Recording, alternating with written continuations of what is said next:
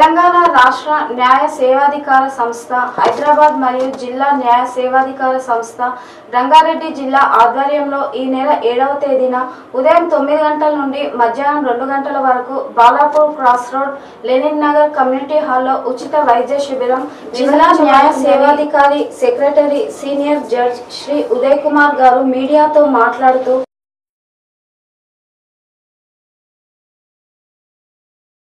ఉచిత వైద్య శిబిరానికి ప్రజలు అధిక సంఖ్యలో పాల్గొని ఉచిత రోగ నిర్ధారణ పరీక్షలు చేయించుకొని ఈ అవకాశాన్ని సద్వినియోగపరచుకోవాలని ఆయన కోరారు.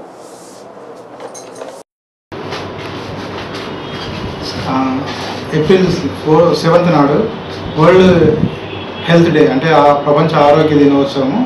ఆ రోజును పురస్కరించుకొని స్టేట్ లీగల్ సర్వీస్ అథారిటీ వారి ఆ- ఆధ్వర్యంలో మన రంగారెడ్డి లీగల్ సర్వీస్ అథారిటీ వాళ్ళు ఒక హెల్త్ క్యాంప్ని కండక్ట్ చేస్తున్నామండి.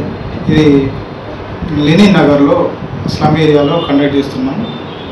కామినేని మరియు ఇంకా కొన్ని హాస్పిటల్స్ నుంచి సూపర్ స్పెషలిస్ట్ వస్తుండ్రు. వాళ్ళ సర్వీసెస్ మీరు యూజ్ చేసుకోండి.